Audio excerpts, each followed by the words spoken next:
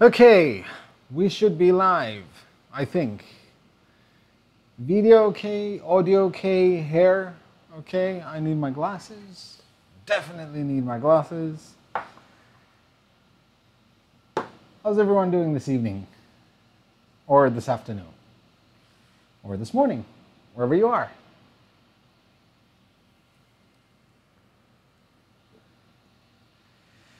We have our awesome moderator, 3D Printed Aspie. Ryan, thank you very much for, co- for uh, coming by, man. Gentleman Scoundrel, Victor Scicluna. Aaron York, hello. You don't have a Mark III yet? No, unfortunately, I don't. And there's a very, very valid reason why I don't have, or anyone has, a Mark III yet. John Jimenez, Rob, Huib, Mark, Mad1 UK, Elliot, another Mark. Simone, I'm not sure about your hair. Yeah, I used a, a bit less gel than I usually do. so yes, I have the pulse. It's it's printing. I uh, I opened it up yesterday evening, and I'm just playing around with it. I have lots to talk about today. Lots and lots. I will explain all of these. I'll talk about this. I'll talk about TCT, and most importantly, we're going to talk about the Prusa i3 Mark III. That's going to be a mouthful. oh, thanks, Jean-Michel. Thank you very much. I love you too, guys. 3D extruded, Mr. Fibble. So, give it four more minutes before I start talking about my awesome adventure in Prague last weekend. Hey, Every Joe. 3D Kid, hi. Manu Bose. So, yes, today was a very, very, very big day in the 3D printing world. Um, uh, after a lot of speculation, a lot of hints and and teasing, the the the Prusa i3 Mark III is finally out. Finally, and and I say finally not just because it's finally out, but because you guys have no idea how hard it is to keep stuff secret.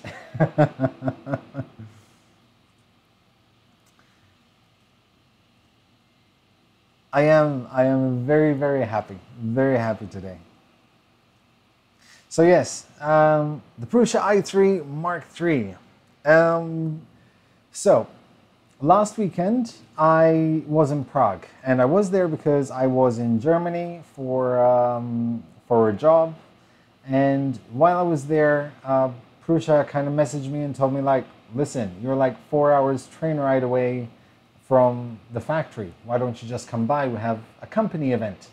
So I kind of thought, yeah, okay, it's like 50 euros to get a train from Berlin to Prague.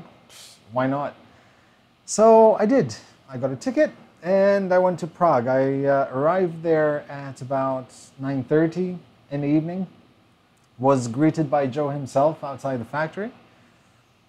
And um, yeah, he showed me around the factory. He showed me the awesome 3D printing farm that they have, all the QA parts of the factory, all the technical parts or the engineering stuff, the assembly lines, the way they work, it's clockwork. I, I was absolutely in love. My OCD was extremely happy in that factory.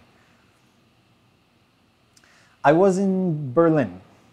I'll be there again in, in about a week and a half.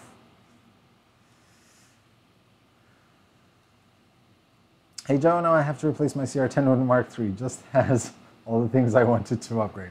Just keep both.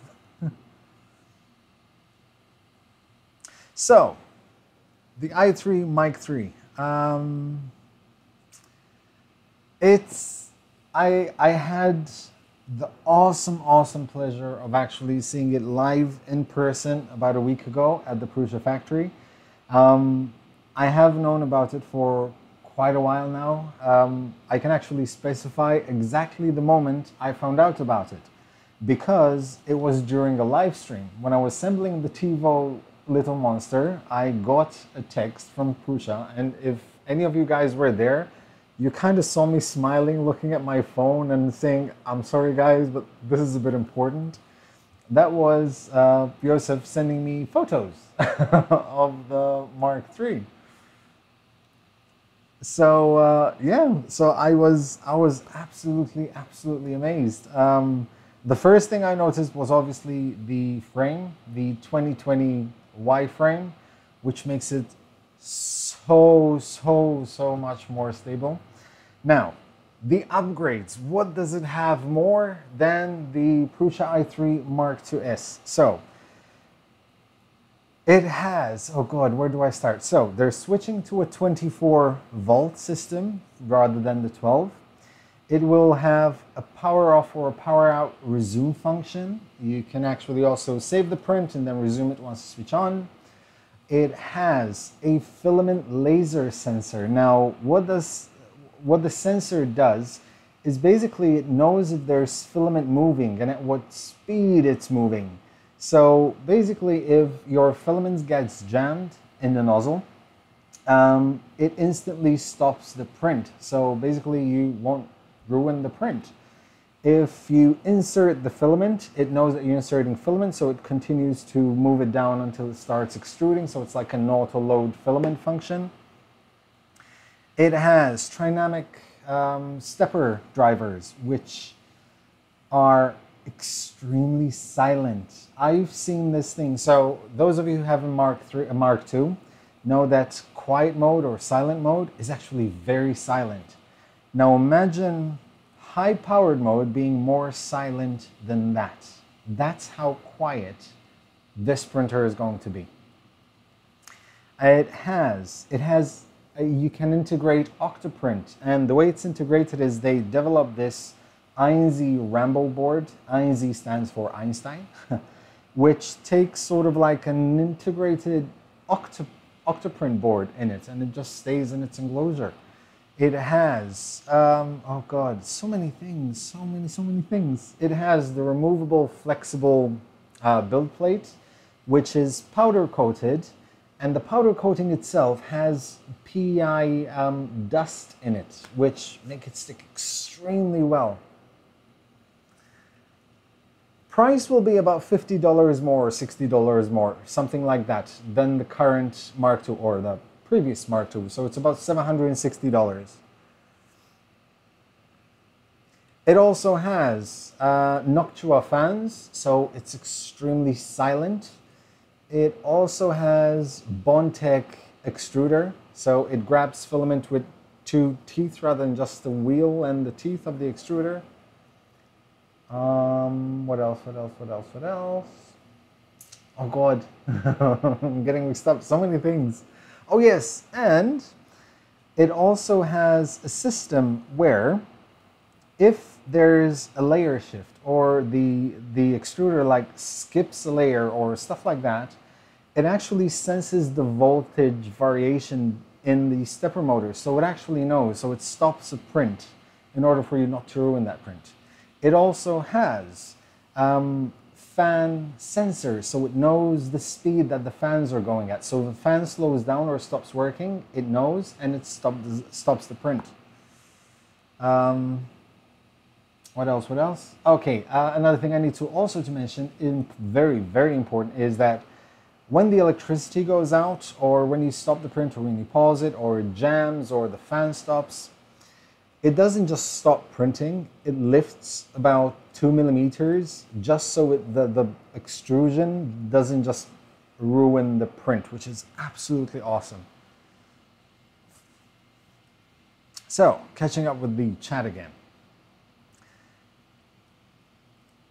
Sorry, I went way, I, I haven't stopped talking. Also, yeah, I forgot to mention, um, it has no limit switches on the X and Y, which is awesome.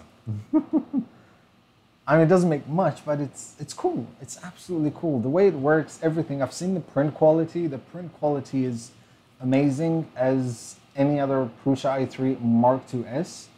Um, it's just much smoother. The display is the standard display short to ground. It's the same display as we always have, as we always have had.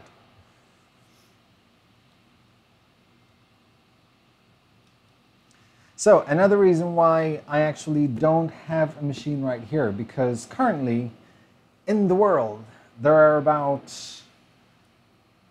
maybe two or four machines in total um, that are fully working and fully assembled. And two of those are at the New York Maker Faire, which I so wish I was there right now. Um, but they will be at TCT, and I will be at TCT, and yeah, all will be right in the world. The other two were sent out to um, magazines for review, basically. The new version is so quiet because of the Trinamic stepper drivers. They just they have 256 um, micro stepping drivers, um, so it makes it seriously, seriously smooth and quiet. Uh, short to ground, it will have an Octopi uh, Octoprint integration. Actually, you know what? I can possibly show you. Um, I should have some tweets to show you. I want to try not to show you too much because they are Prusa's tweets to me or messages. Um, but now that it's out, I can show you most of them. So let me find.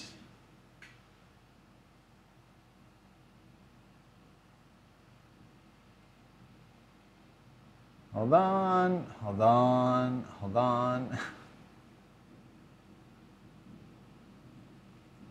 Almost there.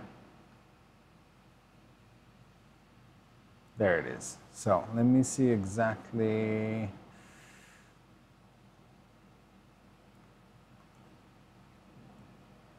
Okay, so let me do this.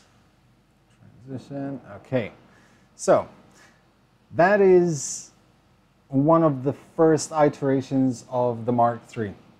Now it's not exactly exactly like that now. Quite, just a few things have changed, but pretty much it's there.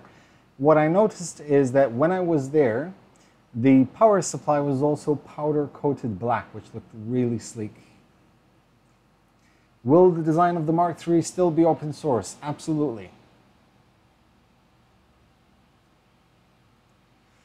Brian Hurwitz, what can you print at 100 millimeters a second at the moment? Well, this is at 90 millimeters a second, but I'll get to those in a bit. But yes, it prints very fast and it's still very quiet. So that is the machine. That is the machine itself. Um, as you can see, it's, it's a slightly different frame because it has different perforations on how it's assembled. You have the 2020 extruded aluminum, which is on the base. The Pinda probe, another thing, the Pinda probe has another heater sensor inside because they found out that when you um, when you take bed leveling at certain heat temperatures, the Pinda probe triggers at different levels. So they inserted sort of like a thermistor in there to uh, compensate for that. So let me just do that. There. Now, there will be an upgrade, sort of like a halfway upgrade, which is the Mark 2.5, it's going to be called. And the reason why they couldn't do a full upgrade kit uh, from a Mark IIs to a Mark 3 is because too many things would change. In fact, so many things would change that you pretty much need to rebuild the whole printer from scratch. You have different power supply, um, you have a different frame. The, uh, the, the metal sheets on the, uh, on the gantry would be completely different. So yeah, that, that is why they cannot do a full upgrade kit. But they are going to do a Mark 2.5, which is going to be about $180, I think. And that will give you the removable flex build plates. It will give you the, um, the Bondtech extruder with the Pinda probe, um, the filament sensor, I think a couple small other stuff. Is there a texture on the spring plate? Yes, it is. Um, there is. It's actually the powder coating itself. Um, it's, um, it's apart from powder coating, it's also granulated PEI.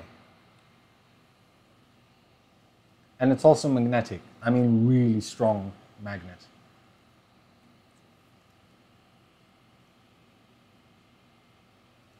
So Octoprint integration. Let me see if I can find the other photo that I got from uh, Prusa.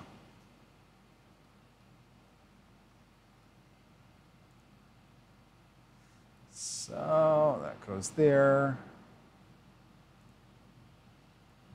There.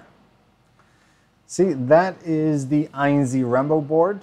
Um, once again, Einsy being short for Einstein. And that is the board with the integrated um, Octoprint circuitry.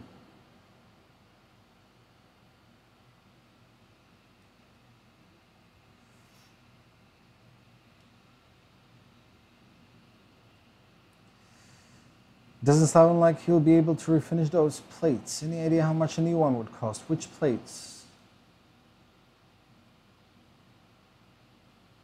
Exactly. Uh, as Tomasz said, the new power supply will not have 110 or 220 volt switch.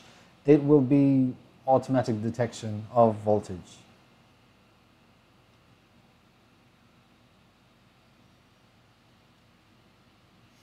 Do you know if there are any new print temp restrictions on the new bed? Not that I'm aware of.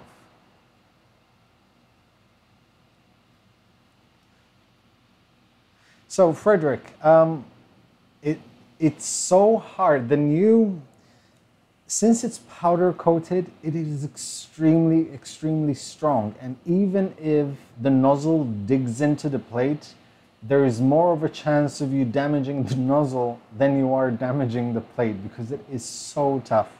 Keep in mind that powder coating is used in industrial things. It's because it, it is so strong. It is cured, hardened, um, powdered paint, magnetic powder paint basically. Um, if I'm not wrong, I think I think the um, the front part. No, I think it's all metal. I'm not entirely sure there's actually any acrylic. Um, if there is, it's the back plate of the screen.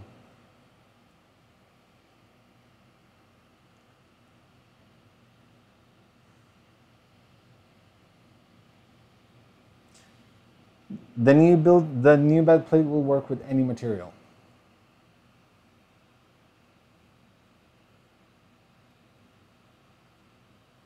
Also, if you don't want the magnetic removable build plate plate, you can actually remove it and then stick on any type of build surface you want. You can install Buildtack, you can install PEI on it, you can pretty much install any kind of surface. You can just use glue and then just put the magnetic build plate on when you want to print something without what you've just stuck on the build plate.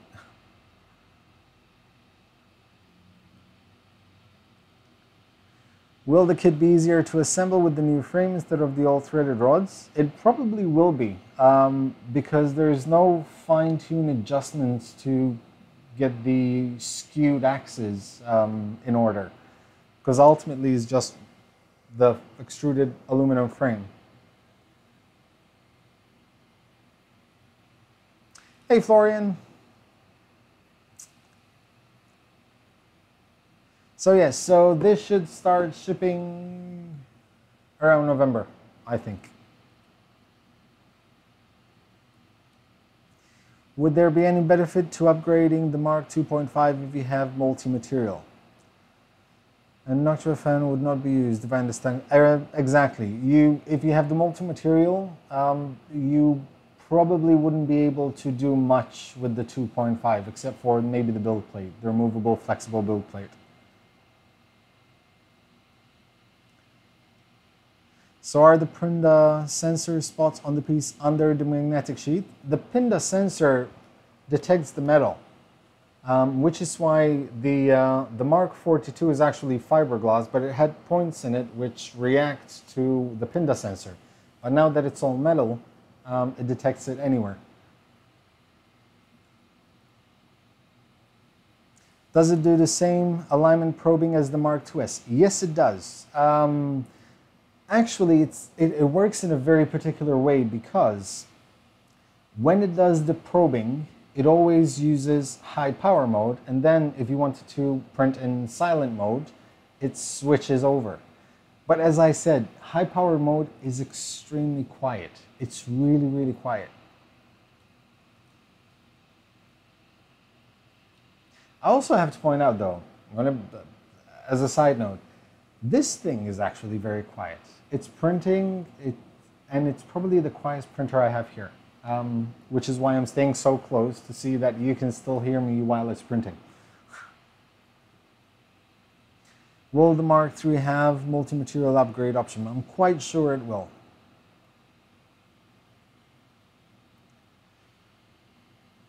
Is the print area any larger than the Mark II? If not, why do you think they haven't increased the size, especially as the CR10 is larger for less dollars? So, um, the only size difference is you'll have about 10 millimeters more in the Z height. And the reason why they didn't go bigger is because it's a Prusa style printer.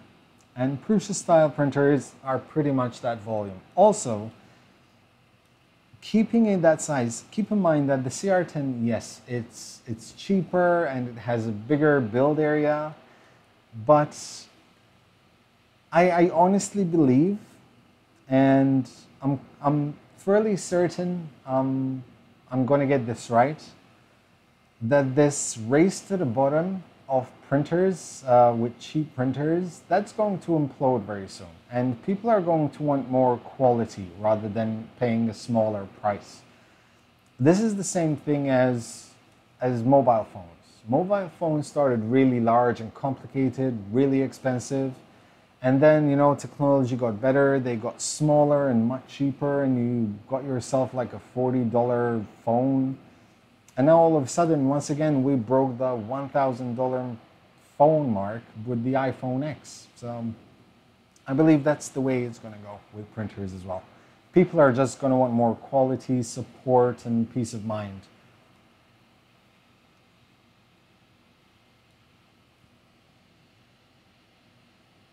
The video of the power powder coated build plate looks rough. It's almost like an 800 or 1000 grit sandpaper if I have to find sort of like a relative thing to it.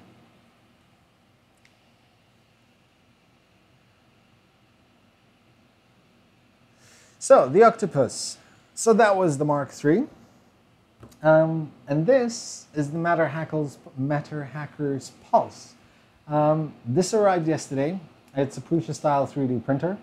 Um, it comes pre-assembled from Matter Hackers, um, and it comes sort of assembled to order. So you can buy the standard kit, which is, hold on, because I have everything here. So the standard kit is $799. Um, you have the heat bed, you have the auto calibration sensor, which is a BL Touch. Comes fully pre-assembled, um, but then you can add a few upgrades. You can add a Bondtech extruder to it, you can add the Olsson Ruby nozzle, you can add the screen. And the one very important thing is that since it's Matter Hackers, it integrates flawlessly with uh, Matter Control, which is the slicer for Matter Hackers. And apart from that, you can also run it off their Matter Control tablet, which is right here, which is what it's doing right now, and makes life much easier. and so far, I'm loving it. It's extremely quiet. Actually, I'm you can probably hear the AC in the background. I'm going to switch it off for a bit. just to give you an idea of how quiet this thing is. Okay, so the AC is off. And now it's kind of printing at high powered mode, which is called stealth mode. It's just quiet. It's like really, really quiet. It comes with like these rubber feet as well. Um, the only thing was that since it came from the US, um, the couriers had a bit of a field day, I think, and I had a few screws which were untightened, so I just had to reset it. But other than that, prints beautiful. This is this is the full version. It is the standard printer with the screen, with the Olsson Ruby nozzle, and also the Bondtech, which in total would come to $1,229. Exactly, you hear nothing. It's just quiet.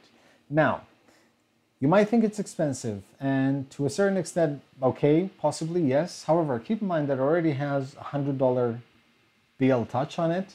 It already has about $200 Bondtech extruder, which is extremely good for flexible filaments, which I'll be testing out, of course. Um, and most importantly, you have Matter MatterHacker support. And keep in mind that since these are assembled to order, as soon as you tell them what customer, who you are, um, and what issues you have, they actually have already all the information on that machine um, all set from their end. You plug it into MatterHacker's um, um, Matter Control, and it recognizes the machine. Your profile is already set for it.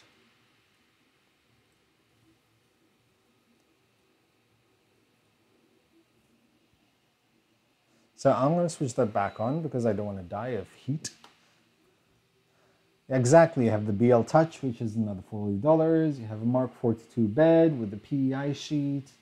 Um, it, it's, it's also very interesting. This doesn't home like the normal printers, like to the left and to the bottom.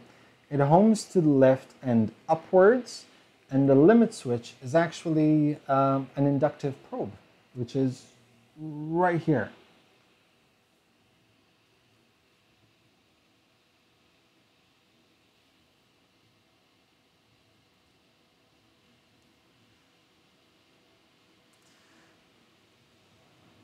Hi, do you know if the print quality will be improved over the Mark IIs? If it is, it'll be very little. Um, it's more functionality and ease of use that they have decided to focus on.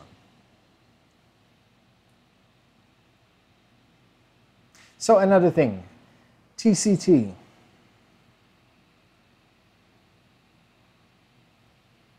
So yeah, TCT next week in the UK in Birmingham. There's TCT, which is this awesome show about 3D printing. It's like this huge conference with many, many hundreds of companies there. I will be there. Unfortunately, I'm only there on the 27th, which is a Wednesday.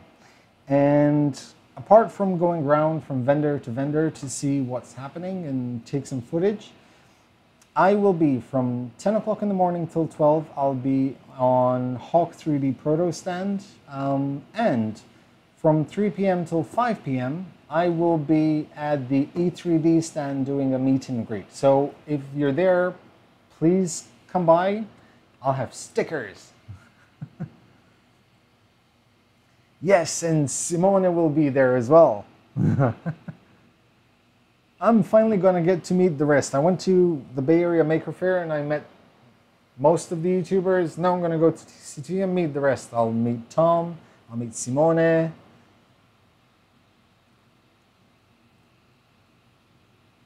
Oh man.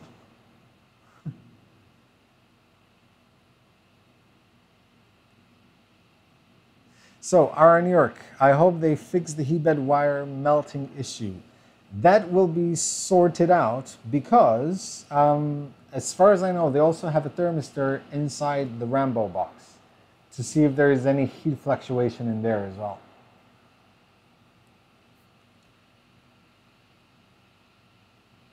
I will. I'll give Ryan a few stickers. Joe, do you know about the Mostly printed CNC thing and could it be something you want to make a video about? I'm not sure I've heard about it, to be honest. Thomas is a lot shorter than you think he is. Well, we are European, whereas Joel is a lot taller than you might think he is.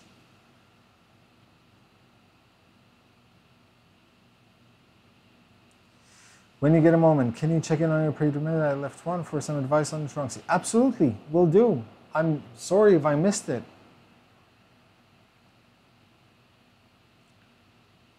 Did the printer stop? Ooh, yes it did. Uh, so I switched it off by mistake.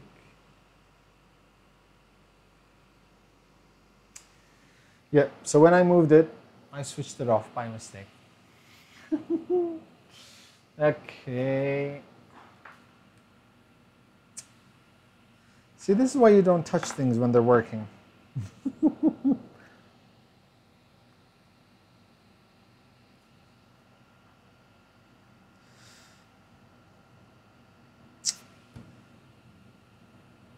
oh well.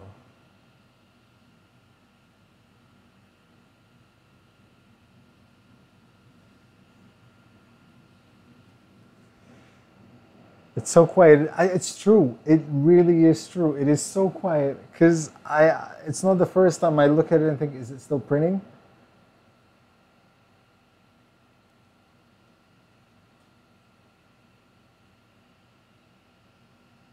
there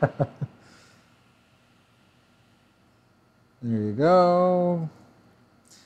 It appears your last print failed to complete. Would you like to attempt to recover from the last known position? Okay.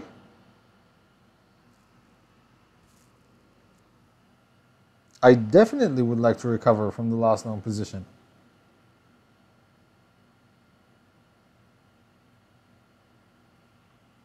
But this is a coin, it's not the octopus.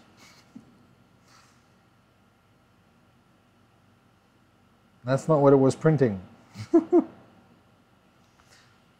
Let's cancel that.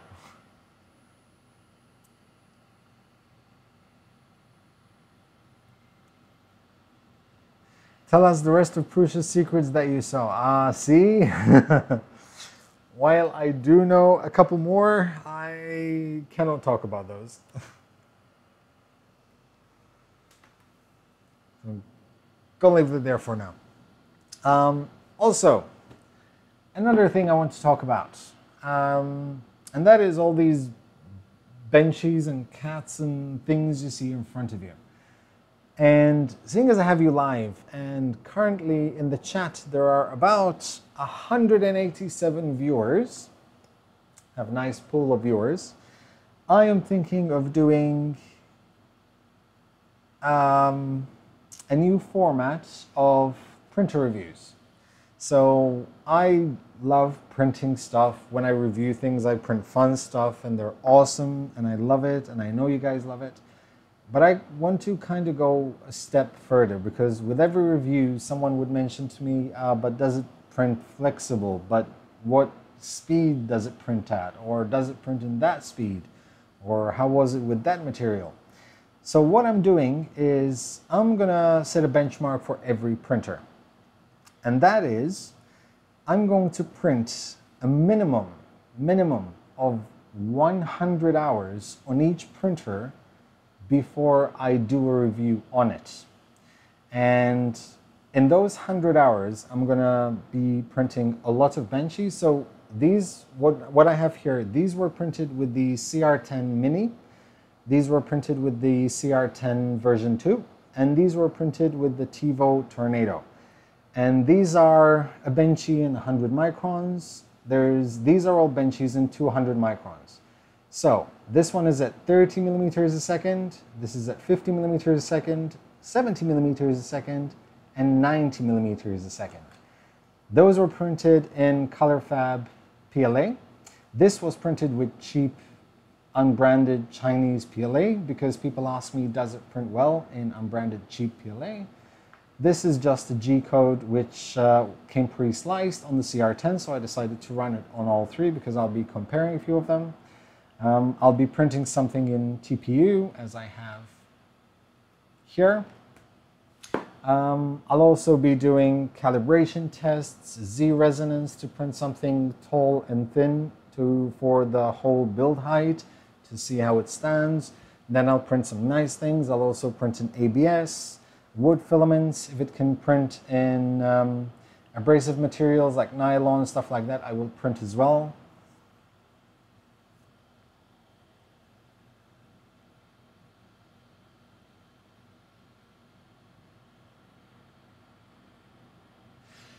So let me redo this. Uh, okay.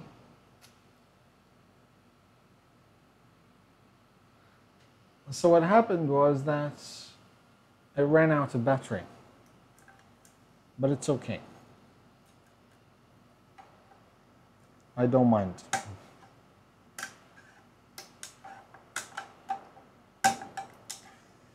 So yeah, I did a questionnaire, and if any of you are interested, it's a shame because this was actually coming out quite nice. really nice. I love this color. So, if any of you have Twitter, I posted a, um, a tweet a couple of days ago because I did a questionnaire um, in order to list the 10 things you would like to see on a 3D printer review and then 10 things that you are just not interested in seeing uh, when doing a 3D printer review because I want to start doing reviews based on what people want rather than what I like to do. Um, reviews have to be useful, they have to be relevant, and I'm gonna start doing them in a way where it is measurable for every single printer, where I can score printer based on obviously my thoughts and no one else's. Um, and yeah, exactly, 3D printed ASPIE. Exactly like the cool wall, uh, cool wall for, uh, from Top Gear and also kind of like um, like the lap, the um, reasonably reasonably priced car board, but in a scoring way.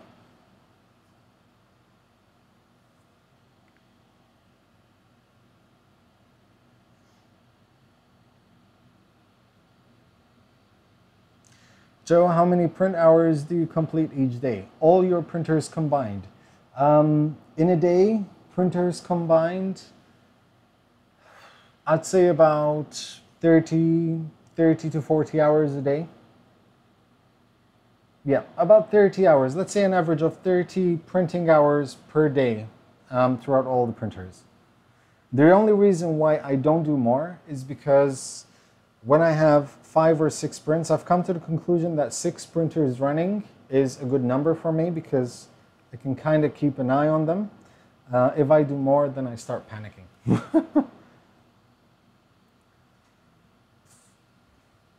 Short to ground. Yes, that is the idea. Um, I kind of like want to do a top trumps kind of thing. So what I'm going to be doing is I'll have my own scoring sheet, which once the review is out, I will share with absolutely everyone on how I scored a printer. And it will have, to give you guys an idea, if the build volume is less than 80 by 80, it gets one point. If it's less than 15 by 15, it will get two points. If it's less than 20 by 20, it gets three points. If it's more than 20 by 20, it gets five points. So you start finding all of these. Where the instructions good? Were they bad? Does it have customer support? Um, does it have auto bed leveling? And all these things will start adding points accordingly. And then you come up with a final score and that translates into uh, 1 out of 10 kind of score, or maybe 1 out of 20. And then I can score each printer based on the same actual things um, or same attributes for any 3D printer. And that I think sets a relatively good benchmark. And apart from that, that gives me a very good score of comparing printers. Like all these printers came to 18 out of 20. So they're in those bracket.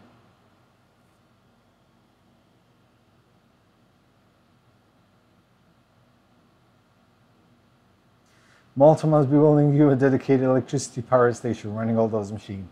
I just got the electricity bill for the last three months, actually two months, two and a half months, and it is as much as someone, a family of three usually pays for about six months. So when when you're watching the ads, just think about that for a minute. Just watch a few seconds more of them.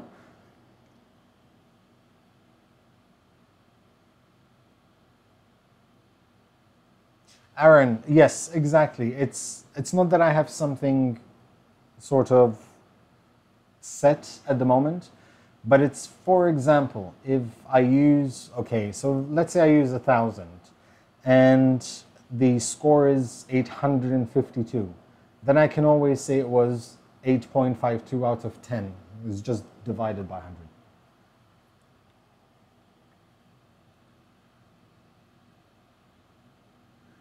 Yes, I have over 150 benchies running around. when did you start getting into 3D printing? Exactly a year ago, in October last year, I ordered my first 3D printer, which was the Prusa i3 Mark II.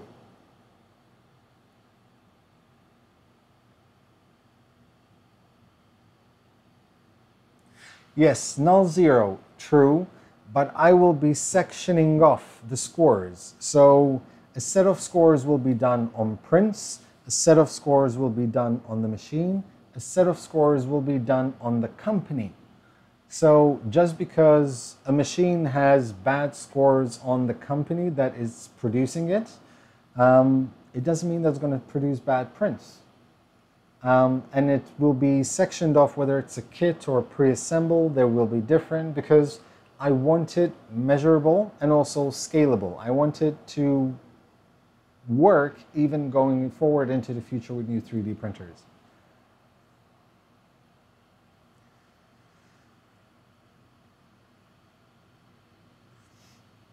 So for example, like the ANET A8, not necessarily a bad printer, it produces some great prints if you fine tune it, but the company behind it, there's no support. It's the community. So it would get a bad score, for example, in that aspect, or the QA or the safety, but it would get good points on the prints. Ritual, $5. Thank you very much, man. More power for Maker Noob. I'm going to start investing in generators. So that is switched off. Okay. Any advice for TT83 on stringing on the little monster? Um, Brian, uh, okay, what little monster? I use about six millimeters of retraction on the little monster in order to avoid stringing. So because the Hey Isaac, how are you doing? Tell your father to buy you a 3D printer.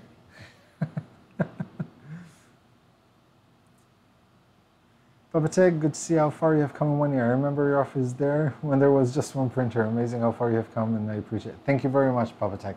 Uh, yeah, it um, it really blows my mind that I've come to this point within a year. I would have never, ever, ever imagined to be here within a year it it completely blows my mind away. And honestly speaking, it's thanks to you guys. So I humbly thank you from the bottom of my heart.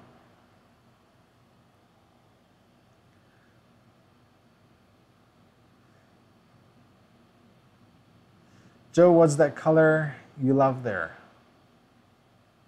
Which one? This one?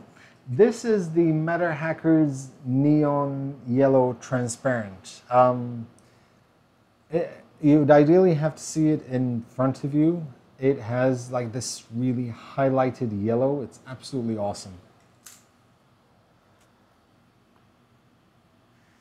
Prusa has 300 plus in his farm power bill. Yes, um, that that was overwhelming, man. Walking into that room with 255 printers, I think, just in the farm. And then you have all the other printers that are running tests before they're shipped out. engineering and testing and new materials and new features. Absolutely mind blowing.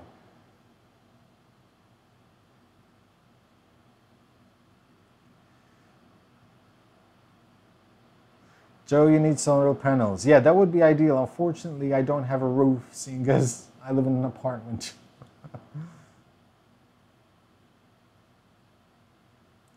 I should just become famous, then I can send cheeky comments in the super chat. It's all right, Rachel. I, I, you know what? I appreciate it, what you do right here, man. Thank you very much.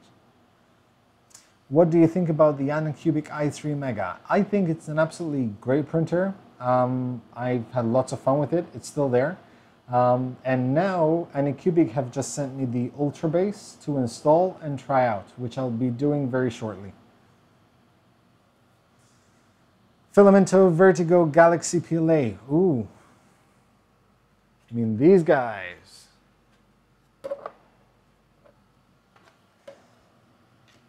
Yeah. let's, let's all bring them out. I'll be posting a video of these very shortly. Um, actually, you know what? Let me see if I can do this so you guys can see. Can you see? Wait, hold on. I don't want to break anything. There. So, let me change this. So yeah, this, uh, Media, zoom out. There. Okay. So, Jean-Michel Ruiz, man, thank you, thank you very much, dude. We thank you from the bottom of our hearts. You are an honest and lovely guy, and that's why you have succeeded. Thank you very much, man. Thank you, I appreciate it. Do you plan to sell t-shirts? Eventually, yes, I will. How is the tornado performing? Actually, quite well, I have to say. Um, Sean Toomey, keep up the good work. Five bucks. Thank you very much, man. Thank you, thank you so much, dude. Is there something like a temperature test tower for retraction stringing? Uh, I'm up in printing now, and for filigree prints, retraction take the most time. I actually I did. I did do a retraction test tower. If you find my profile on Thingiverse, there should be something.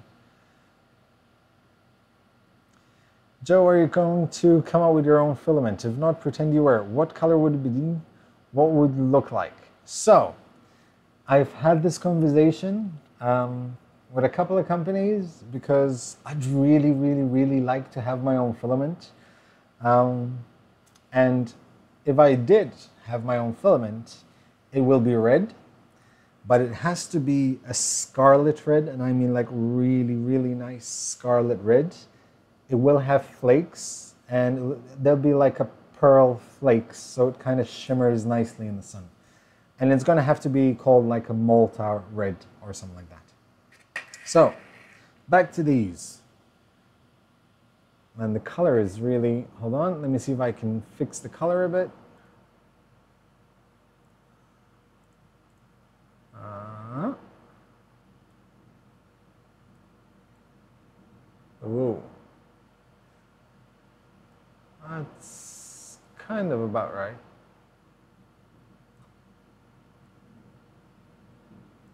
Almost. No.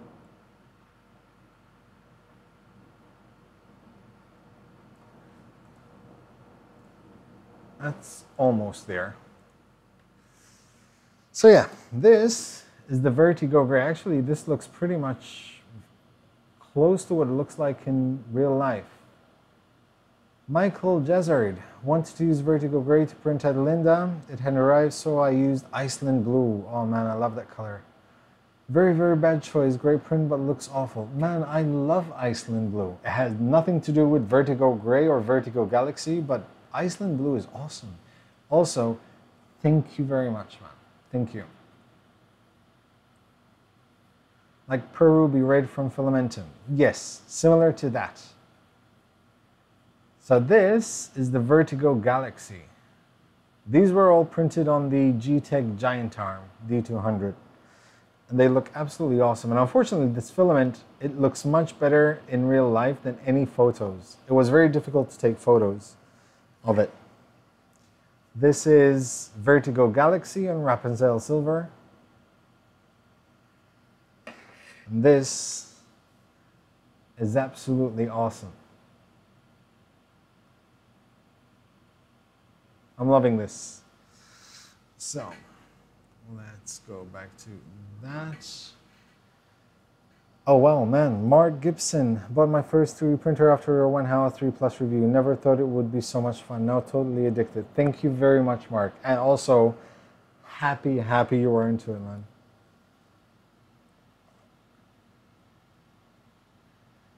Brian Horvitz, 10 bucks, man. Thank you guys. Always great work. I will not see you at TCT. Oh, that's a shame, man. I am there on Thursday. Would have been great to chat all through things 3D and your new industry. I have just resigned, leaving it after 13 years. Ouch. Yeah, I I have to say I'm not too excited about finding getting back to a full-time job. I was enjoying this, um, but for the moment, just for a little bit longer, it will have to do. But thank you very much, Brian. Man. Is there a way to fix Z-Wobble in slicer settings? Um, unfortunately, no. Z-Wobble, as far as I know, it's usually mechanical. So it's either the belts are not tight enough, you have possibly bent screws, or the printer is not aligned properly. Those are usually the case. Or possibly the um, lead screw nut that pulls it up and down, that could also has, have a bit of wobble inside.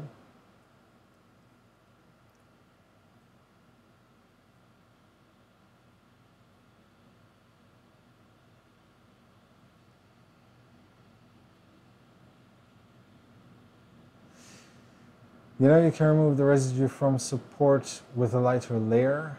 Um, is that for me, Stahl? It was not difficult to take photo of the galaxy. Um, well, if you have the right equipment, obviously.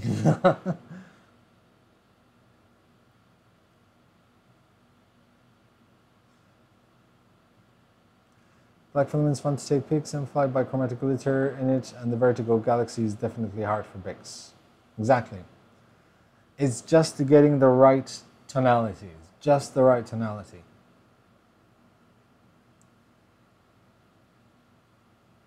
What do I think about the Tevo Tarantula? oh, the Tevo Tarantula. So, this week I decided to assemble the Tevo Tarantula. Oh man. um, I can tell you this, it is not the worst 3D printer kit out there. There are worse than that. There are two worse than that. So, I have yet to play around with it. So far, I've printed a Benchy, and it looks horrible because the Tevo Tarantula does not have a part cooling fan. Um, the instructions, half of the steps were missing. They're just not in the instruction book there are complete incomplete steps. There are things you have to figure out for yourself because if you if you follow the Tevo Tarantula instructions to letter, the instruction book, you will not have a usable printer because half of the parts will not be installed. I managed to get through because now I know 3D printers. Um, so that needs desperate updating. And to be completely honest, I think the Tevo Tarantula is outdated. Um, I don't think it's the kind of printer that should be sold anymore. Not because it, I, it's a tinkerer's printer. There's a lot that needs to be done to it from a community standpoint. There's there's too much that is involved in 3D printing to make it better, to install a part cooling fan and install stabilizers and all that. I think it's just we're way past that now. And the thing is, Tevo have better printers than the Tarantula. About the Mark III, is it solving a lot of problems you have with other printers, i.e. power cut, filament run out, hard to remove prints from bed, etc.? Yes, it is. It definitely solves all those issues.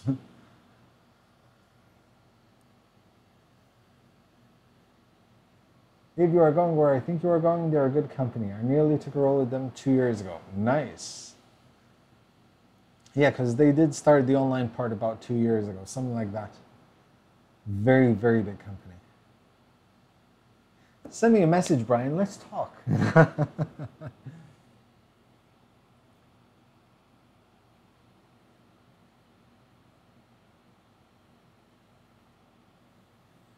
hey, Ismail. Doing very well, thank you. Stacking the parts, no problem. But does anything other than Simplify 3D support different parameters for different parts? Correct? No.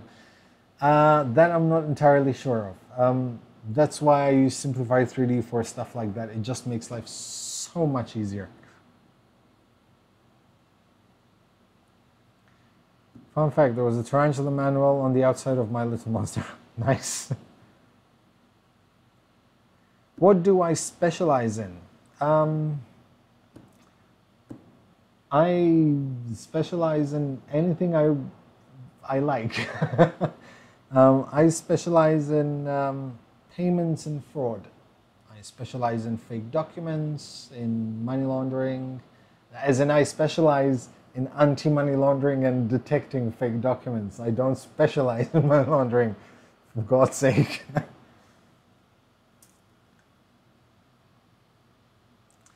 Joe, what are your favorite special filaments with glitters or such extras? Pretty wise. So, um, Rigiding Red PETG, one of my all-time favorites. Vertigo Gray, definitely one of my all-time favorites. Um, I like the Polymax Teal from Polymaker. All the Elixir, especially the um, the the Nightshade one, beautiful filament. What else? This is actually very nice. I'm really liking this filament. The um, neon yellow transparent PLA from MatterHackers. What else? Oh, and the matte forge filament. I just remembered I have the matte forge filaments. I keep forgetting to print with them. Uh, they're matte filaments. They're absolutely awesome.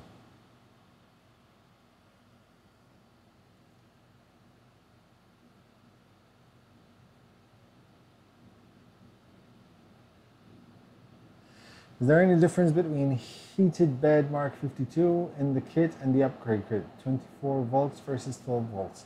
That I'm not entirely sure to be honest.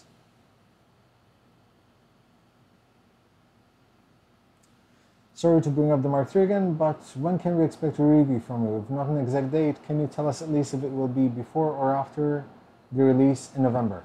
Um, review if all goes well and according to Prusa's plans, um, we'll hopefully be able to do a review. I feel I will be able to do a review at around beginning or mid-November. Possibly end of October, but it all depends when they will have review units.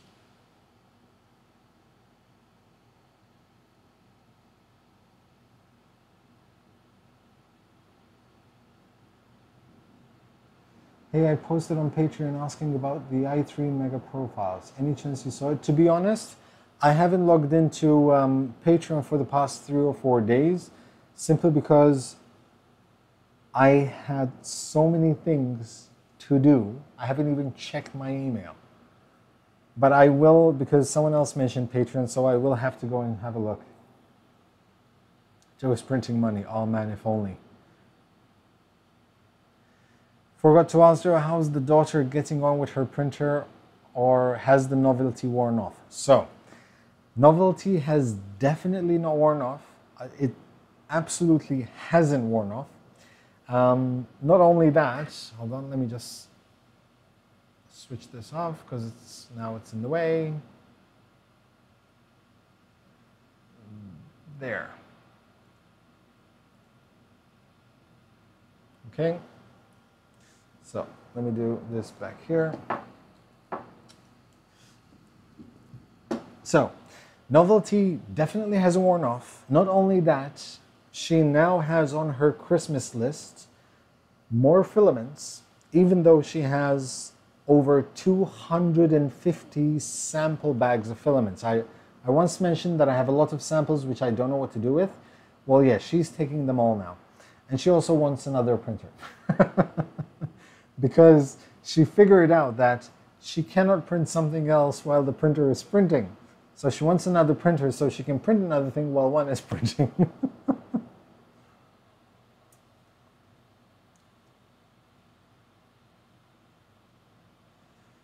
Will you upgrade a Mark IIs to a Mark 2.5? Um, no, because I have the multi-material. However, I will be buying the Mark III. Did you know about the Prusa i3 Mark III before it was announced? I, I think I've known about the Mark III for about two months now. Possibly less. It's so good to be talk to be able to talk about it.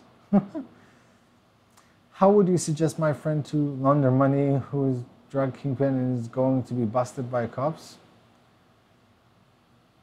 Ah, uh, that's something I cannot suggest. but I'm trying to see what's the best way for your friend to get the least amount of jail time. Sorry, I just got here. What is the printer on the left? Joe's right. It is the MatterHackers Pulse. There's a link in the video description. Does she still use the Dagoman? Um, actually, to be completely honest, she's currently only using the um, the the toy box because it is much more kid friendly. They don't actually have to slice anything. She just goes through a library, just prints, and that's it.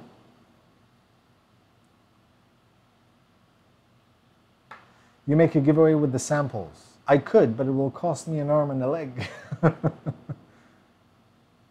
will the Mark III have multi-material upgrade option? I'm quite sure they will find a way to add it. I need a bigger house. Hopefully that will be coming in a couple of months if they manage to finish it. We all thought that a second printer would solve the problem, just ordering number seven. Yeah, Mike, that's exactly what happens.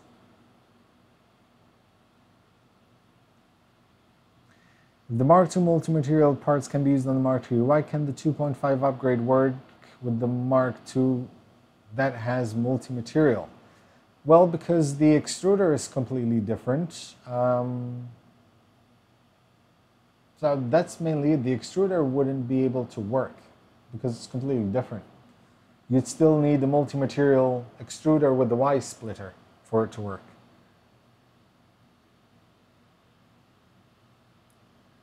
Is there going to be an Ultimaker 3 4 at New York Maker Faire? That I have no idea. 3D Noob, so many of us have multi-material on order. Now Mark III current won't be compatible with multi-material upgrade, especially if we upgrade to Mark 2.5. What to do? Cancel MMU? I'd say cancel the 2.5 to be honest, um, because you're not gaining much. You're gaining very, very little things. Um, maybe the Noctua fan, but honestly speaking, I I don't think I don't think there's any reason to upgrade to 2.5 if you're going to get the multi-material upgrade.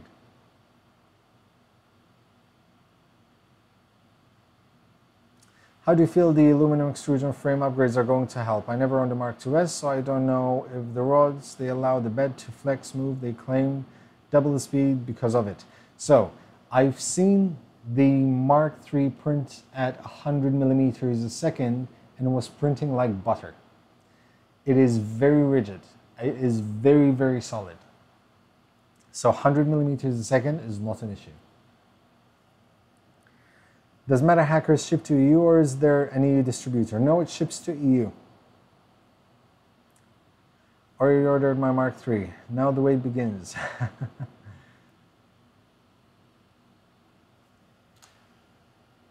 Virtual, the 22 Pro. Does the Mark 2.5 come with the new extruder? Yes, it does. Counterpoint. So your daughter is already infected with the I need more printers bug. Must be heavily contagious. But I'm almost at the same stage. Yeah, she's constantly coming in here. Are you done recording from that? I'll print something. Have you finished recording with that? Can I have it? Is that printer for me?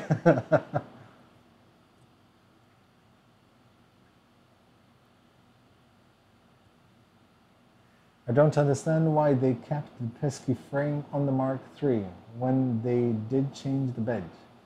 The main frame on the Prusa still sucks.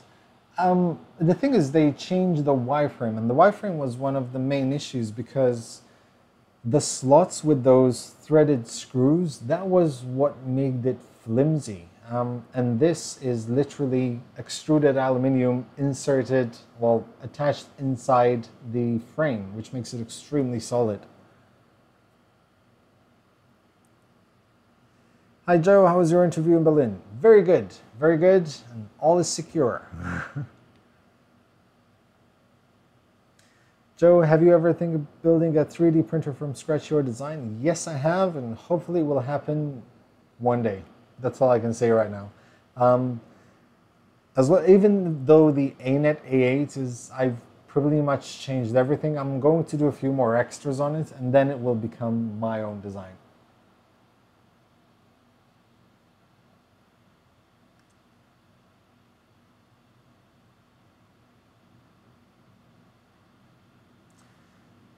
Hey Joe, will you be getting an MK3 uh, Mark III? Yes, I should be getting a review unit. Um, however, I actually have asked Prusa um, to pay for the review units, honestly speaking, um, because in my mind I can already see trolls telling me that I'm getting paid to do a review, and that bugs me. Um, I tend to do it with more expensive printers. Um, I did it with the Sigma, I did it with the first um, Prusa. So he said that review units will be sent out as review units by with no charge. So what I'm going to be doing is I'm going to be buying an additional one just to say that I paid for it. The main frame still wobbles honestly speaking, I didn't see it wobble at the Prusa factory. It was printing at 100 millimeters a second and it was steady and very quiet.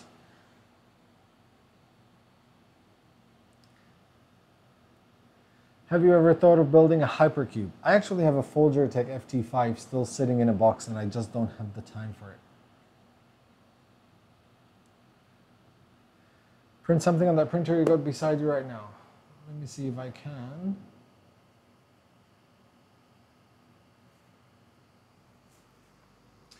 I'm hoping that this didn't die. Let's see if it has charged.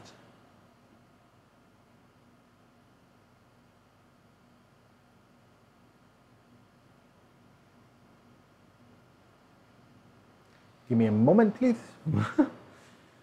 Aside from all the cool new features on the Mark II, what else would you like to see in the Prusa, Prusa printers? So, there is actually something which I suggested to Prusa and for future printers, and I think that should be the way forward. And the filament sensor, the laser they have is awesome, but it would be so cool if a printer um, uh, would be able to calculate the extrusion multiplier as it's printing. So if there is a variation in the diameter of the filament, it would adjust the multiplier on the fly. Also, closed loop systems. Um, it's, it's something where the printer knows where it is. So if there is a layer shift or you hit the printer, it actually moves back into place. I think that is the way forward.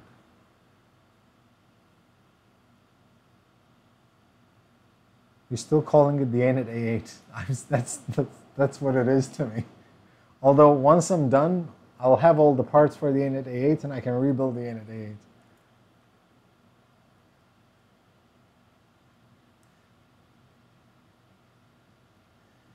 Um, are Prusa doing something with acceleration on the Mark IIIs? The fact that they're now using using Noctua, uh, oh, sorry, not Noctua friends, Trinamic stepper drivers, that that that is awesome. It reduces the ringing heavily.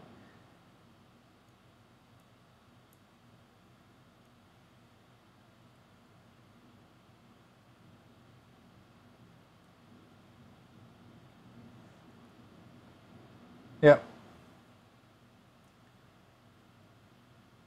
Take the FT5 off your hands. As, honestly speaking, I would, but shipping to the UK would be exorbitantly expensive, and that's one of the most expensive printers I ever bought. and that's why I'm actually sort of not. I'd rather do the reviews first of uh, printers that are sent to me by companies rather than the ones I purchased myself.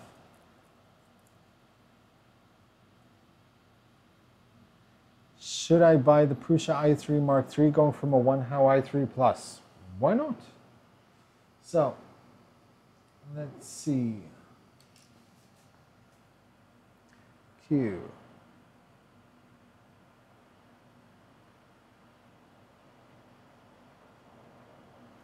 Okay, let's let that printing. Ah, this is not going to print because I'm running out of battery for some reason. Charger is not working.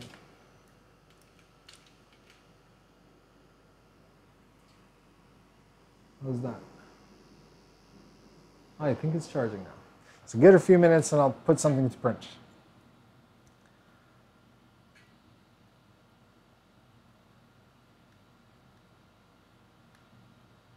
I didn't see what BB wrote. what did he say?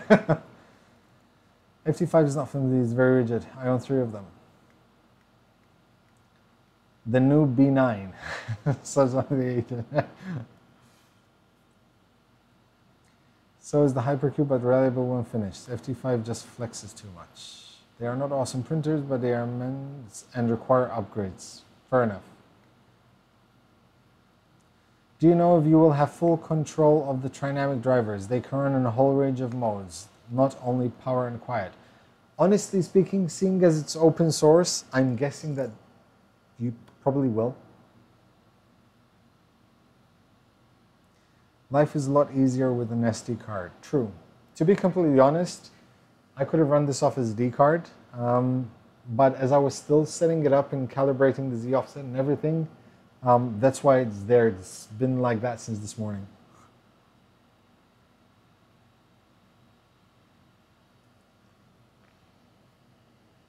Is there any advantage of the new y-axis?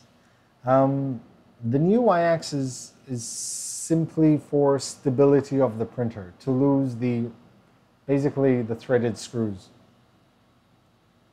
So even putting it together is much easier.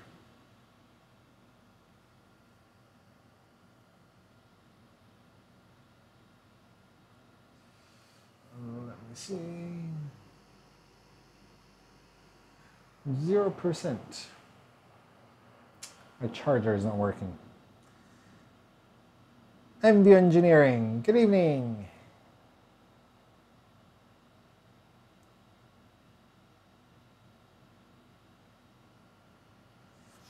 I'll not go for the Mark III before the hype has settled down. I really don't see anything that is need to have on it yet. Fair enough.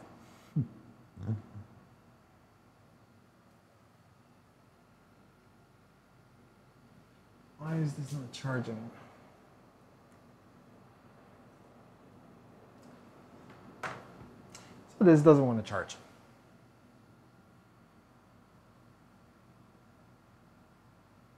Well, the new IXs mean I have to get new sound dampeners? Oh no, trust me, um, it's quiet. It is really, really quiet.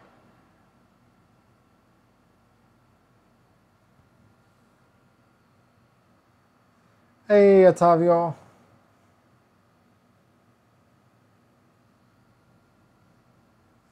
Hey Joe, just dropped in. Will you be doing a Prusa 2.5 upgrade? Um, unfortunately, no, for the simple fact that I have the multi-material upgrade on mine. Um, so I won't be able to use much of it, to be completely honest. Maybe I can buy Mark IIs and then do the 2.5 upgrade on it.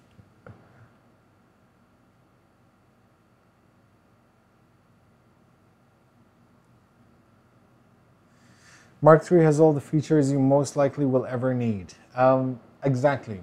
It pretty much is one of those printers where every feature that could save you from either wasting filament, ruining a printer. So as Joel said, Joel had an issue once and he did a video about it where a print failed and part of the print got stuck in the uh, in the hot end fan and then he had this massive heat creep and he ruined a whole hot end because of it. And with the sensors it has, if one of the fans stops for any reason, the print is stopped. If the filament is jammed, it'll stop printing. If the electricity goes off, you have power off resume function. And it, it's awesome. It's absolutely awesome. And even if you have a layer shift, you, if you have a 20 hour print and you just let it run because you trust the printer, okay? A lot of people do it. I sometimes do it why would if there's a layer shift in the first five hours why would you want to let it print for the rest and waste that filament if it sees that there was a layer shift it'll just stop the print because it knows it's not going to be a successful print can this tablet thing do something like octoprint haven't tried but read about upload to sd card and then start to print from there then the tablet can crash all it likes honestly speaking, I think it can, but I I haven't used it much. I'm not that well versed in MatterControl and the MatterControl tablet, so I'm not entirely sure yet. I am still playing around with this.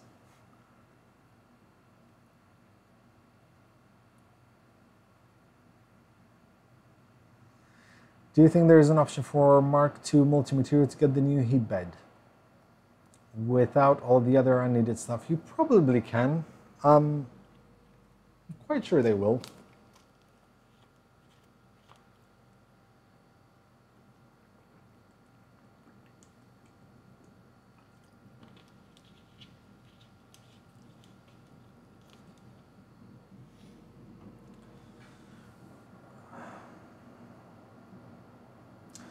Or features you don't need. Well, it's it's kind of like ABS on a motorcycle. You don't need it until you do. And the one day you need it and you use it, you'll be very glad that you had it.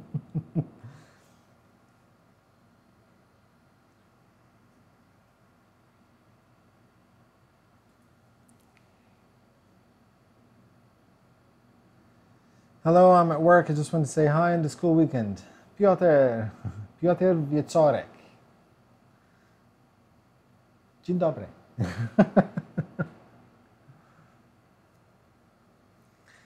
Son to me, getting the Mark III, but what are your opinions on enclosed printers? I have an enclosed one, which obviously keeps in heat, but I, but do I need to bear anything in mind with a non-enclosed printer? Um, to be completely honest, nowadays there are so many modified or re-engineered ABSs and all that kind of stuff that an enclosed printer. The only reason why you would want an enclosed printer is pretty much for air filtration just for fumes of some materials you might use. Um, previously was an enclosed printer for ABS but nowadays there's there are many filaments as strong, if not stronger, than ABS, which don't produce toxic fumes. So an enclosure might not be that well needed, unless you want a completely controlled environment. But then again, if you fully enclose a printer, keep in mind that even electronics are in there. So if the heat rises, everything else, all the temperature for everything will rise.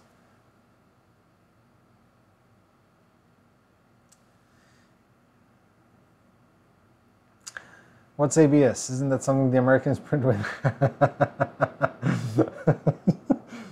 uh, well, just for the sake of it, anti-lock brake system. Thanks for the stream. Have to go. Some family stuff. The community is so much better off with your videos. Thanks again for your honest conversation. Thank you very much, Papa Tech. Thank you so much. I also love how many people disliked this video before it even started. Whoever you are, Thank you guys.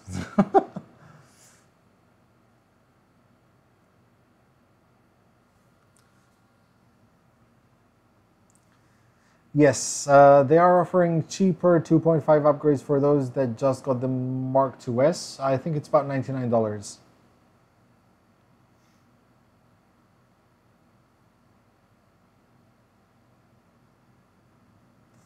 Yes, Deadeye. It has the Trinamics uh, drivers with 205, 256 microsteppers. Microsteps, not steppers.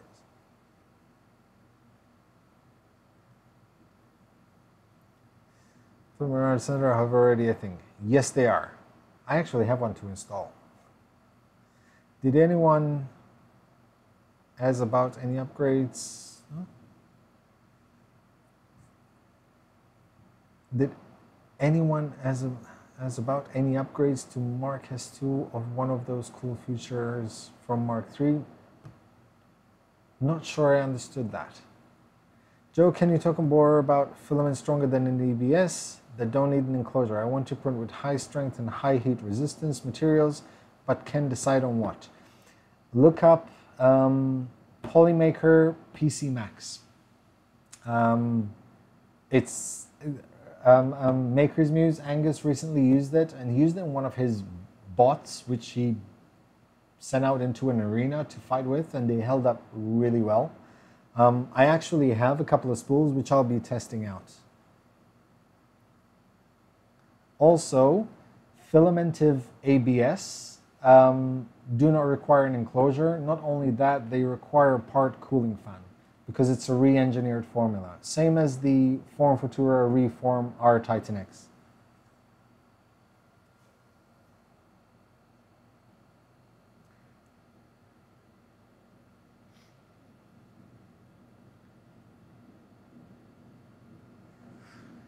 Uh,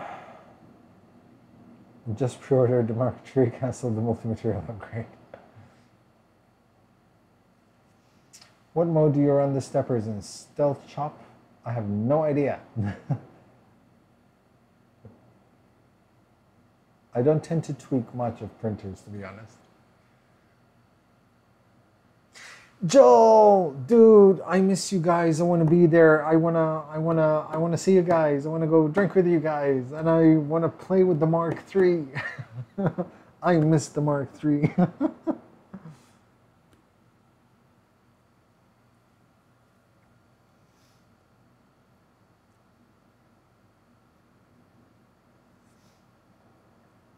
Mike Steckward, uh, get a voucher. Prusa's ABS works as hell on the Prusa Mark IIs. That's why I'm building an enclosure right now. Um, Prusa nowadays, as far as I'm aware, is using either Easy ABS or Engine uh, for the orange parts. Joe, did you say you were coming to TCT? Yes, I will be there on the 27th. I will be at the Hawk 3D Proto stand from 10 till 12 and at the E3D stand from 3 till 5 on the 27th.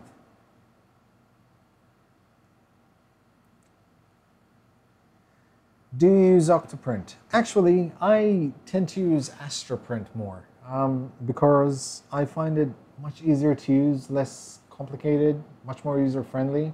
And to be honest, if I use something like that, I'm only using it to monitor prints and whether I want to stop it or not. I don't need slicing and all that. So no Maker Faire New York 2017, unfortunately not this year. Hopefully next year.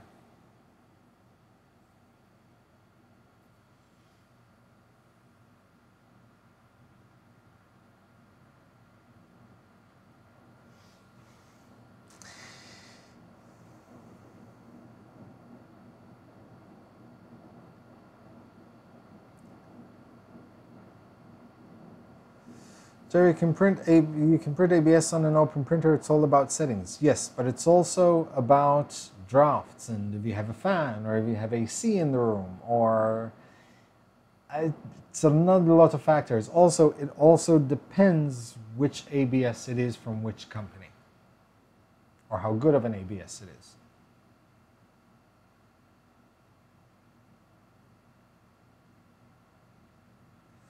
Hey Joe, interesting upgrades. Good choice. Thank you. Won't be there personally, but my other two minions will be visiting in the 26th. Do you mean the orange parts on the Mark IIs are not Prusa Orange ABS? I thought it was. That's why I bought this filament. Oh no, it's, it is Orange ABS, um, but it's either Easy ABS and also Engine. As a matter of fact, because when I went to the factory, the Prusa factory, um, most of the printers in the farm, which were printing the orange, I noticed that they had the part cooling fan on and instantly thought like, how? They mentioned that those are engine parts. You said the magic word fan. Don't use it with ABS. But that's why I said it all depends with which ABS. Filamentive ABS requires a fan. Um, reform, our Titan X is an ABS and it requires a fan. So it all depends on the material, on the company, or the formula. Joe, did you convince Joel to come to Comic Con in December yet? Oh man, if only I could. There should be word ask. Did anyone ask about upgrades on Mark IIs? For example, magnetic board. Are they on the way in the future or will be only available on Mark IIIs? My apologies, Joe. Uh, no worry, Piotr. Uh, um, yes, there is a Mark 2.5 upgrade so you can have the magnetic board and also the extruder, the new probe, and a few other little things to upgrade the Mark IIs.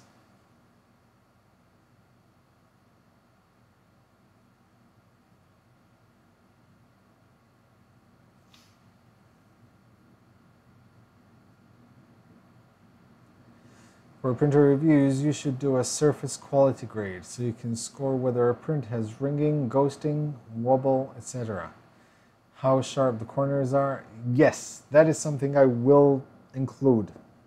Um, I actually don't have them here, but I did the make test. I, I did the make test for the Most Fun Pro, and now I'm doing it also on the CR10, the CR10 Mini, and the Tevo. However, I did the Z Resonance Tower, about this high, about 30 centimeters high, and I want to see how straight it actually is.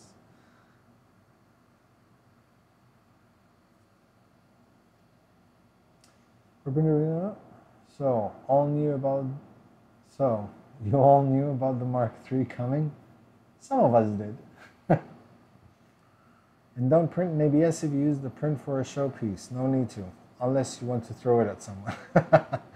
now, if I print in ABS, it's usually something I'm going to be used in a particular way. To be honest, I don't really print a lot in ABS. I've printed a lot in Reform R Titan X as parts for my ANET. But other than that, Joe, sadly, it's time to close up shop. Thanks for making my workday so much absolutely awesome. Keep that hair looking nice for Thank you very much, man.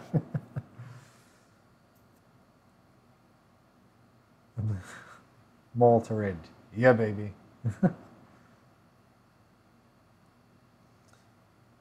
Mark 2.5 upgrade but still no new Rambo board. The new Rambo board works on a 24 volt power supply, which is why they cannot do a full upgrade because you'd be changing way too many things.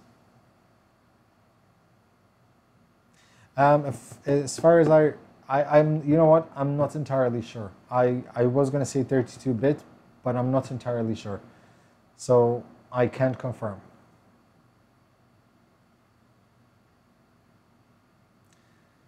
Stepper motors on the Mark III still the same as the Mark II. Stepper motors are 400 um, steps per millimeter motors. Yes, 400 steps per millimeter motors.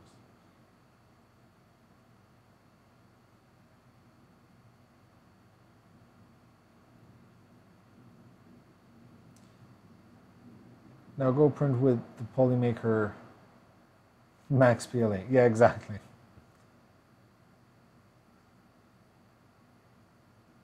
Polymax Max PLA. See you, Piotr. Do zobaczenia. Are you still using the multi-material upgrade much at all, or just sticking to one color lately? No, I actually print quite a few things, especially for my daughter and for her friends. Um, I tend to not print much with it unless I'm printing many things at once.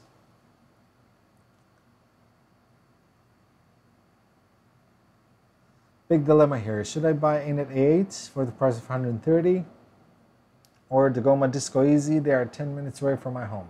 Don't know what to do. So, I've never used the Disco Easy. Um, but if they're anything like the Dagoma Neva, they're going to be very easy to use. Um, you'll have customer support behind it. Any issues, you'll, you'll they'll be sorted. But the Disco Easy does not have a heated build plate, and I think it does not have a screen either. So it only prints in PLA. So it all depends what you want to print.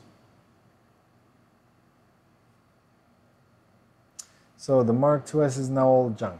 Oh no, trust me, it's not. It's still a very good printer. It's still a very good printer.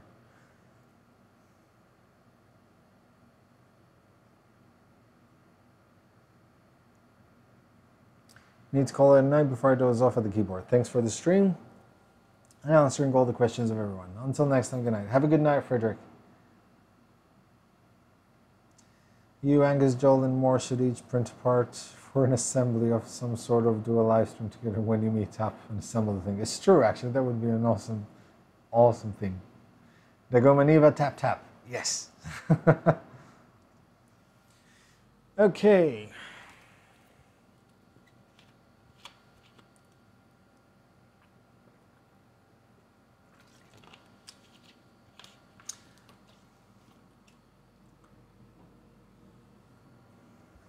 ANETs are bringing out dual extruder 8, A8. I actually have a dual extruder for the ANET A8, but it changes the board completely.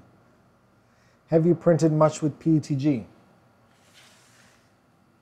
See this spool holder, this really awesome spool holder? This was printed on the Tevo Tarantula. So, as I was saying, I want to do the same test with many different printers um, with different materials. And seeing as I needed to print with PETG, if I'm going to print a lot of prints, I want something that's useful that I'm going to use and not just, you know, put away or throw away. So I've decided to print this spool holder, which honestly speaking is probably one of the best designed spool holders I've come across on Thingiverse. Um, it printed with uh, Aprintapro PETG on the Tevo Tornado, and it printed beautifully.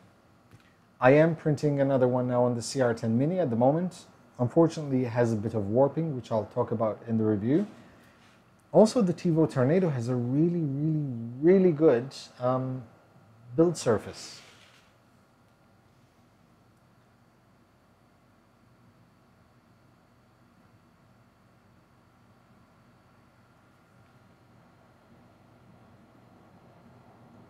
What are you going to do with a dual extruder on the 8? You don't have one anymore. Actually, once I finish upgrading the ANET A8, which will then not be an ANET A8 anymore, I will have the parts of the ANET, so I can reassemble the ANET A8.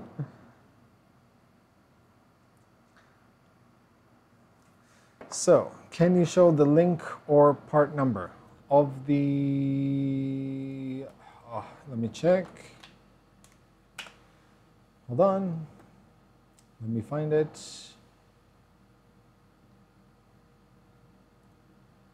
So,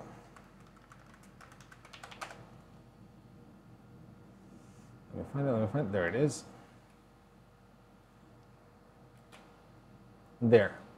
If you need a spool holder, that is probably one of the best ones you will find. It's by far one of the best ones.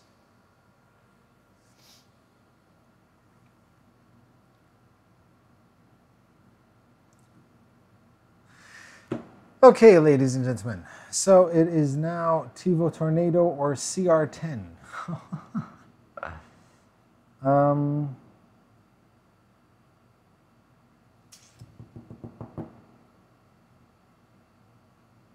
I don't know. Um, I've to a certain extent, let me pick something up. So this was the CR10 Mini. This was the Tornado. Hold on. Hold on.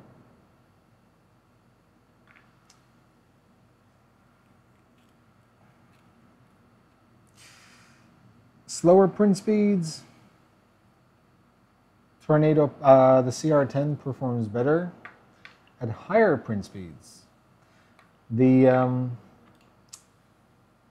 the Tornado actually performs better at higher sprint print speeds. Also keep in mind that the Tornado has like a Titan, clone Titan extruder, which comes in very handy. Also, when I said that I printed the Z resonance test, the tall thin one, just to see how it is, both the CR10 and the CR10 Mini had slight layer movement uh, going upwards. It wasn't a layer shift, it was literally just like a slight bend going upwards, whereas the Tornado was perfectly fine.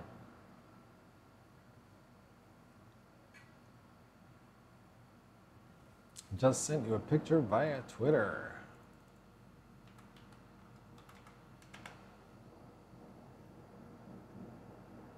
Crashed.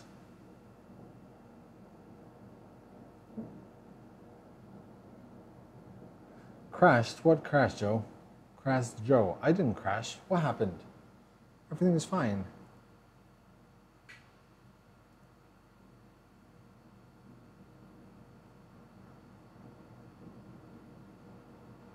Overpriced than Anycubic i3 mega. funny. someone um, posted the link to the um, Prusa i3 Mark III, and someone commented overpriced Anycubic i3 Mega.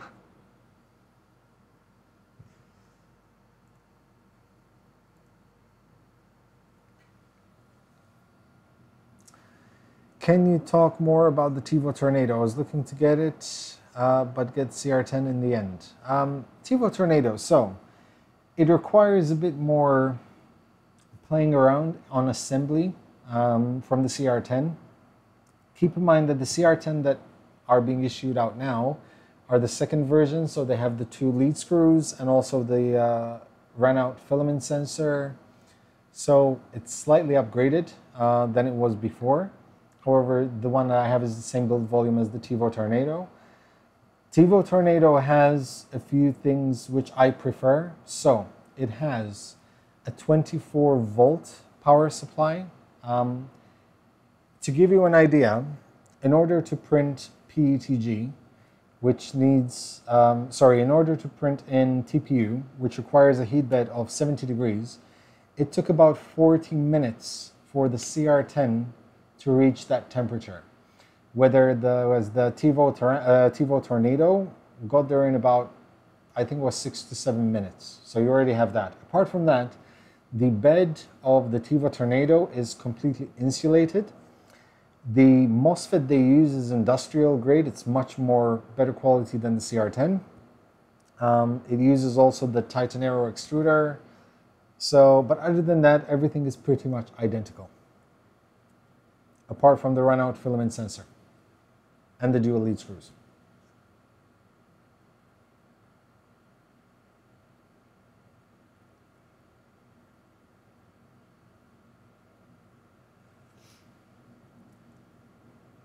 Uh, the bed of the tornado. It comes with this like sticker, like a build tap, BuildTak type stickers, which you get an extra one just in case because it's an odd shaped one. Um, really good. Um, probably one of the best BuildTak type surfaces I've seen. Um, only BuildTak type surface that I've seen as good as this is the Pale Poly sheet. Prints stick really well.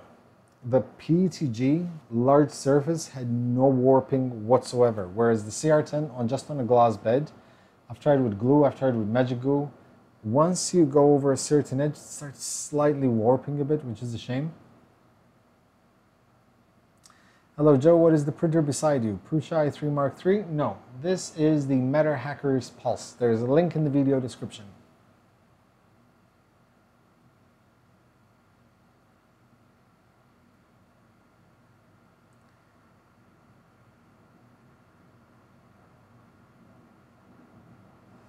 I cancelled my order of the Prusa i3 MKS, MKS Mark 2S or Mark 3?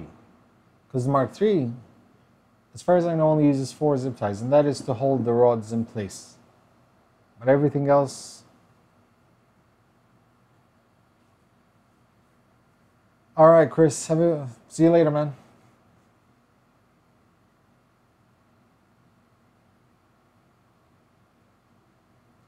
Show to ground, 220 volt bed, this is our relay. Correct.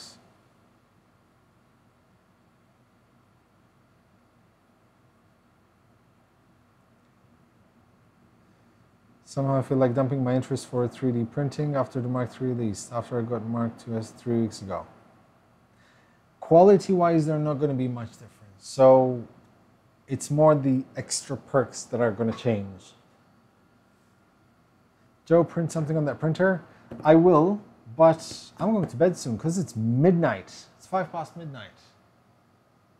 I need to sleep because I need to record tomorrow because I'll be off to TCD, TCT in a couple of days and I need to sort out because I've only uploaded one video this week because it's been a nightmare and busy and as you can see I'm printing I'm preparing more episodes. I have the Dagoma review coming up. I have the Geeetech Giant Arm D200 review coming up.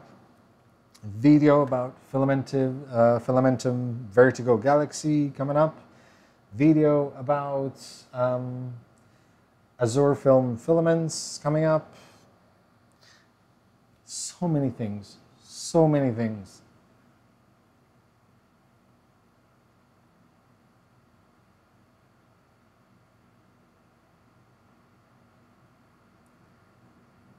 I absolutely hate Prusa spool holder. It's the reason why Prusa isn't working right now. The spool fell halfway through a print right on top of the limit switch, breaking the switch. Ouch. Do you find the multi-material upgrade limiting in regards to not being able to blend colors for a full palette as opposed to ORD or other full? Um, not limiting, to be honest, um, because I more than multicolor, I think it's more functional as a multi-material printer. Multicolor is fun, but the best use for it is for multi-material. Is there going to be a 3D new version of the Mark III? Maybe I'll do one with red parts.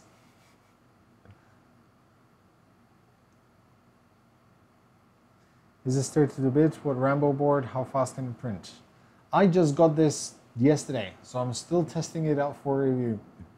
But it's not a Rambo. It runs on a RAMPS 1.4 board.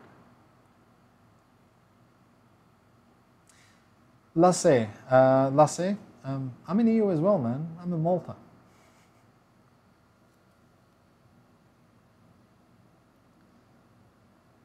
Brian, off to bed. Thanks again. Always a pleasure. We'll drop a direct mail for a chat. All the best. Enjoy TCT. Thanks, man.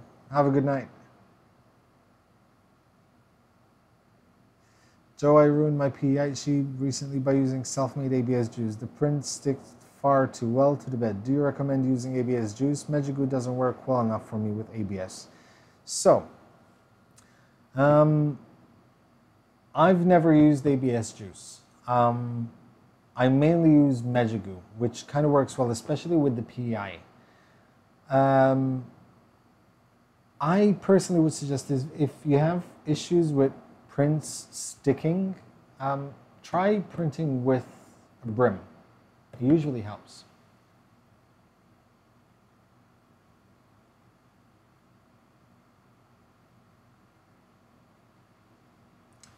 The button has been pushed.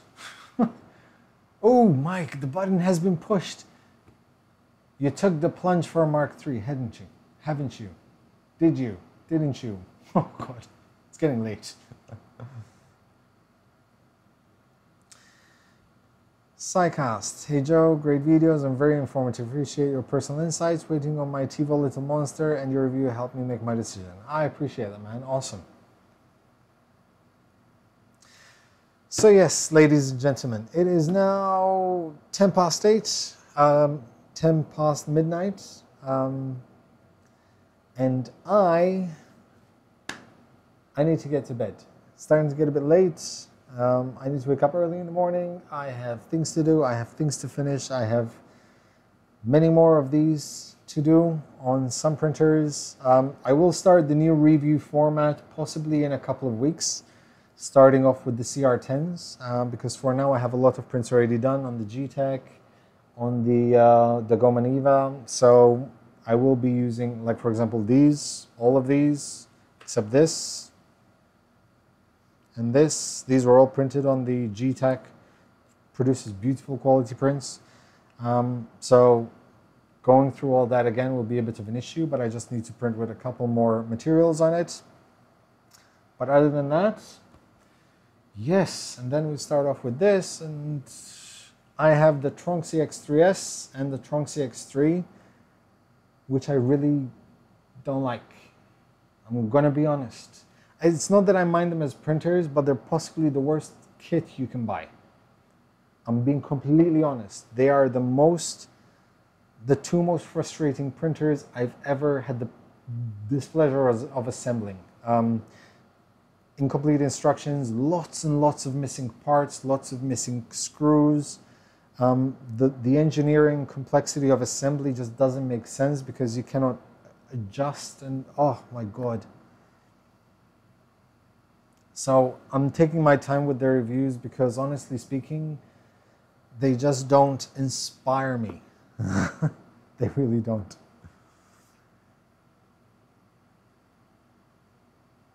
No, Stal, wife is not calling, wife is asleep. she knows this is my job, so.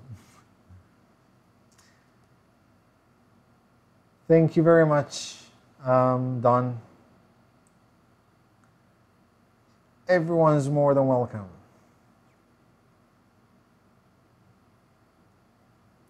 Thank you very much, Jean-Michel Ruiz. I wish you sweet dreams. Thank you very much. Thank you, thank you, thank you.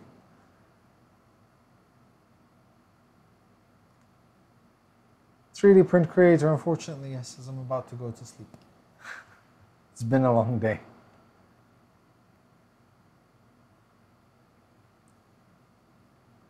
Yes, a big shout out to Ryan, who's been an absolute boss tonight, moderating the chat. Please check out his Twitter account um, and also his YouTube channel.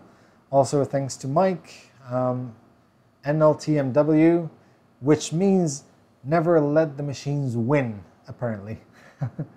and also Chris from Practical Printing, who is just here right now. Um, check out his channel as well.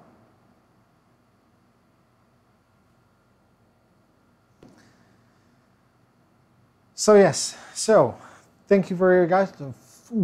Thank you very much, guys, for dropping by. I hope you enjoyed this Q&A session. Um, I hope I gave you enough information on the Mark III. Um, hopefully we'll have one here soon and I will be able to review with you guys. Yes, we'll definitely do a live build of that, um, obviously. Um, and yeah, that's it for me. So thank you very much for watching. Please like, share, subscribe ring the bell so you get notifications when I'm online or when I start doing live streams or when I schedule a live stream. Um, an awesome thank you to my Patreon supporters. You guys are absolutely awesome. And if you want to help out the channel in any way, um, there are some affiliate links in the bottom of the video description. Doesn't cost you anything extra. Actually, on some of them, there are discount codes, um, but uh, there will be some kickbacks for the channel, which go a very, very long way. And I would highly appreciate it, but obviously you don't have to. So yeah, thank you very much for watching. Have a good night. And as always, happy making, guys.